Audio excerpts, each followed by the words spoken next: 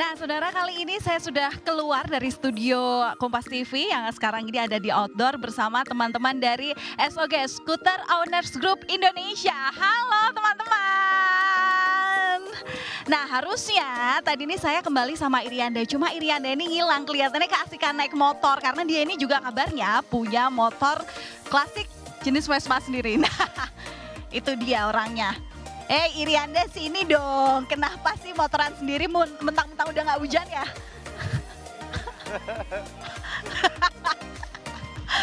aduh aduh mentang-mentang punya motor Vespa sendiri. Parkir dulu dong. Nah, di sini nanti kita akan bahas sebenarnya apa sih perbedaan dari motor klasik jenis Vespa ini dari tahun ke tahun sama yang paling baru. Sambil nunggu Iriana memarkirkan motor Vespanya dulu ya. Tapi yang jelas ini kemarin untuk menyambut teman-teman dari SOG Indonesia ini, Irianda pulang kerja itu langsung cuci motornya biar kelihatan kinclong, bener nggak? Benar, karena ada SOG jadi saya harus juga nyiapin Vespa dong ya kan. Kebetulan ini juga Vespa bekas kakek dulu Om dari Cirebon. Saya dulu nggak nggak tahu kan pas SMA terus tiba-tiba ada Vespa di rumah. Aduh ini saya apain ya saya nggak tahu kan. Heeh. Karena ini bekas kakek waktu itu almarhum nggak ada yang ngurus akhirnya dibawa ke Jakarta dari Cirebon. Ya udah akhirnya kulik-kulik sendiri coba-coba. Jadilah sekarang eh, waktu itu dibawa ke kampus ke Bandung masih ada sampai sekarang. Oke, gitu. tapi Iriana belum gabung ya ke komunitas SOG. Nanti coba saya izin dulu nih. Nah, ada kebetulan Oke, berarti ketua- kenalan dulu ya. Kenalan dulu di sini. Ini langsung saya kenalkan dengan Om Venito Bastian. Ini adalah ketua SOG ya, Scooter Owners Group, ketua umum Indonesia Om ya. Oke, tapi kalau di sini eh, teman-teman dari Jakarta Selatan. Oke. Boleh Om kita ngobrol dulu mungkin Oke. depan bareng aku ya. Nanti kita akan lihat nih perbedaan-perbedaan apa Iya. sih yang paling kelihatan dari Vespa karena kalau secara kasat mata Vespa Nah. ya bentuknya gitu-gitu aja yang samping kanan kirinya lebar, terus depannya lampunya yang bulat gitu Nah. ya. Dan apalagi kan eh, saya juga punya Vespa tapi nggak terlalu mengulik bagaimana sih sebenarnya perbedaan-perbedaannya. Kemudian juga kalau dilihat kan eh, sebenarnya nggak cuma dari tahun lama kan sampai tahun keluaran 2000 ada Om ya? Ah boleh pakai mic Om? 2006 terakhir. dan Ah tuh 2006 motor terakhir. Oh, Oke. Bener ya eh, itu jenis PX bener Om? Atau jenis? Eh, PX ya, New Oh. PX namanya. New PX ya? Oke, berarti saya tadi kesalah datanya Valen. Ya, benar-benar. Oke, Om, ini kan sebenarnya banyak ya orang-orang atau di artikel deh bilang sebenarnya Vespa ini salah satu motor klasik Ya. yang biasanya bisa dibilang paling sering mogok gitu. Nah, tapi kenapa kok di sini membernya banyak banget dari yang muda sampai yang ya agak tua sedikit Agak lah. senior gitu. lah ya. Agak senior lah gitu ya. Agak senior itu masih setia sama Vespanya gitu. Ya, eh, terima kasih sebelum saya mulai saya mau sapa anggota saya dulu. Es oke? Es oke? Es oke? Selamat pagi Indonesia. Selamat pagi, mantap. Just gitu ya. Ya, Gimana, jadi Om? eh, perlu yang pertama tuh perlu kita kita apa luruskan dulu mengenai mindset tentang Vespa. Ah, oke. Vespa itu adalah merek, Mm-mm. sedangkan tipe Vespa tipe Vespa itu adalah skuter. Skuter, oke. Ya, jadi banyak yang salah kalau kalau bilang kalau skuter itu Vespa. Tapi Vespa itu skuter.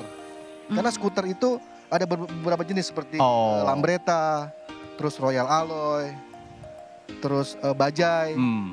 Dan Vespa sendiri gitu. Oke. Oh, ba bajai itu dalam arti bajai yang sering kita Bajaj, lihat? Bajaj, Bajaj yang tahun sekitar tahun 70-an, Ah. 70 70 80-an itu skuter dia. Skuter Jadi juga. skuter itu, oh. jadi eh, kenapa disebut skuter skuter itu karena indikasinya dia eh, decknya nyambung nih. Seperti deknya nyambung. Oke. Jadi seperti kayak eh, skuter-skuter yang sekarang tuh kayak eh, Honda, Yamaha, Beat, Vario, itu termasuk skuter juga. termasuk skuter. Oh, oke.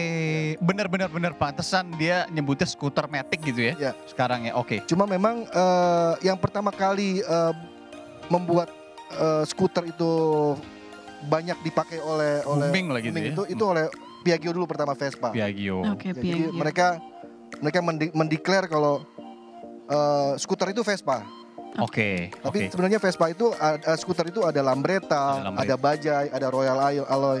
Dan Harley Davidson pun sendiri pun pernah buat skuter. Pernah bawa skuter juga. Oh, Oke. Terus apa yang bikin eh, Bang Fedito setia dengan skuter Vespa ini? Mungkin kita tarik ke zaman dulu kali. Ya. Pas sebelum sekarang kan sudah udah udah jadi uh, ketua SOG gitu ya se Indonesia. Dulu awal-awalnya tuh gimana Om? Uh, tertarik sama Vespa awalnya kemudian beli Vespa pertama atau seperti apa?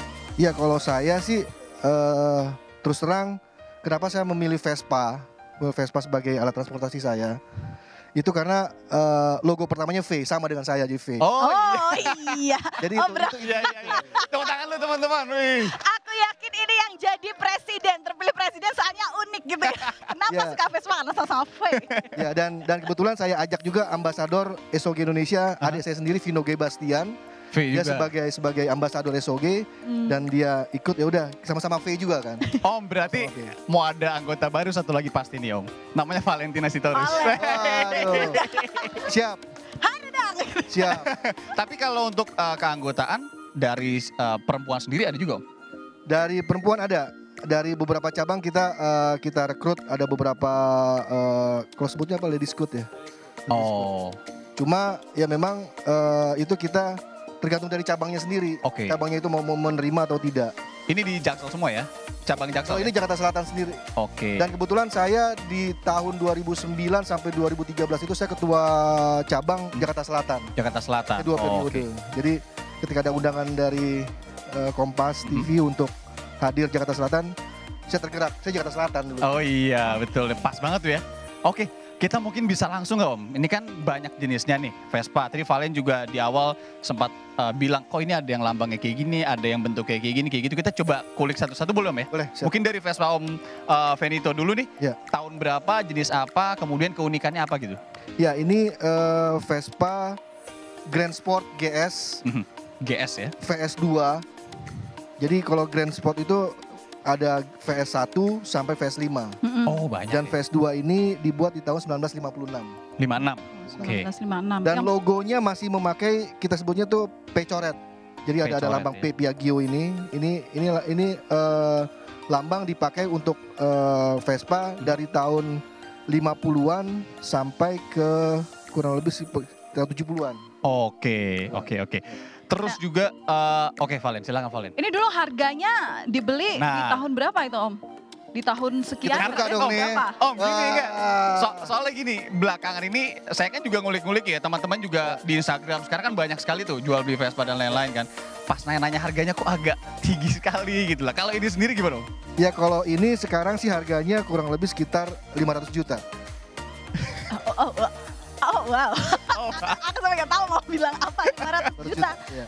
Oke, 500 juta ya. Yang buat dia Yang buat dia mahal apa Om? eh, bukan mahal, oke. Mahal itu relatif mungkin ya. Cie. Kalau untuk eh, harganya Vespa itu tinggi atau tidak terlalu tinggi itu yang eh, bedain apa? Mungkin keoriginalitasannya atau eh, ada part-partnya atau tahunnya mungkin? Ya sekarang gini, kalau kita coba lihat ini kan eh, Vespa tahun muda ya, tahun Vespa yang Excel. ini ya? Ini Yang Excel, mana? yang ini. Ini Vespa Excel. Mungkin ini- bisa geser Ya. sini Om. Yang ini ya? Ya, Vespa Excel ya. ini eh, dibuat itu di- dari tahun 70 70-an gitu ya? 78 78? sampai ke tahun 2006. Oh, ini 2004, termasuk 2006. yang Ya, baru ya berarti masuk yang ya? baru. Oke. Ya, masuk yang baru dan dan ini ini sekarang pun kalau kita bisa bilang mahal atau enggak, sekarang ini saya sendiri udah udah nggak bisa nih beli yang ini, yang Oh. Vespa Excel ini. Walaupun ini bilang terbilang baru ya. Kenapa tuh? Udah ya karena berhenti unit unitnya juga udah udah nggak ada, nggak nggak keluar. Oh, oke. Nggak keluar. Oke. Terus eh, Udah nggak produksi. Mungkin kita ngobrol sama yang punya juga kali ya. Boleh. Dengan Mas Mas Tony. Tony. Mas Tony boleh dipakai mic-nya. Nah, Mas Tony berarti punya Vespa ini di tahun berapa? Ini baru dua tahun lah Dua tahun. Belinya dari? eh, dari teman, Oh, Dari teman, oke itu ya. oke. dari teman ke teman lah. Biasa. Memang kebanyakan- SOG itu warisan. Oh. Waktu itu beli di harga berapa berarti? pokoknya. Oke. Berarti berapa waktu itu belinya? Ini waktu itu Boleh dipakai Oh iya, sekitar eh, 19 sampai 20 juta lah. Boleh. Jangan. 19 sampai 20 juta. 19 sampai 20 19 juta. sampai 20 juta. Waduh. Oke. Nah, ini yang paling beda ya dengan Vespa yang mungkin di tahun 50-an tadi punya Om eh, punya presiden gitu kan. Oh, Nah, ini lampunya kotak terus juga logonya udah beda. Dan sudah ada elektrik. Dan sudah ada Oh, elektrik ada elektriknya ya. Oh. Oh, nggak kalah sama skuter Matic sekarang berarti. Itu bisa dinyalain, Om? Bisa. Kita coba boleh lihat nggak? Wah, iya nih. Biasanya pakai pakai oh yang ini nih. Ini jenisnya sih sama sih. Oh, oke. Iya, jenisnya sama. Itu Excel juga ya. Tuh. Oh, jadi nggak semuanya harus disela ya sekarang, Om ya? Oke. betul. Udah kayak semi yang Matic dong. Yang Hmm. Matic juga udah di Kita dengerin dikit. starter tangan ya. Coba kita lihat. Coba. Nah, Yoi. oke. Gak apa-apa, yang pasti kita kedengeran kan? Ah, Itu yang pasti kedengeran. Listriknya, berarti itu ada aki ya? Om? Ada. Oh, Ada. Kayak gitu ya. Ini Excel ya. Kalau bedanya ini Excel juga nih. Om? Kalau ini Era Om. PS. PS Era. PS. PS. Oh, PS beda lagi, oke. Ini lebih tua sedikit lah dari Lebih tua Excel. sedikit. Mm, tahun, Tahun berapa berarti 81. terakhir produksinya ya? produksinya tuh kalau nggak salah kurang lebih tahun 86. Hmm, Kak. Oke. Mm-mm. Nah ini kan sebenarnya motor klasik ya. Terus yang dicari pasti kan adalah perawatannya gitu. Nah Hmm. eh, susah nggak sih masih cari bengkel-bengkel dengan spare parts yang masih ori untuk yang pemenuhan yang udah zaman dulu gitu loh? Gimana? Mas? Kalau dibilang susah gampang sih susah-susah gampang kak. Heeh. Ya, Karena kalau nyari produksi yang ori dari Piaggio-nya langsung atau Itali udah nggak produksi. Oh. Kecuali eh, part-part aftermarket. Kita nyebut aftermarket dari luar om. Sementara kalau masih mau cari yang ori itu biasa kita nyari eh, part-part copotan.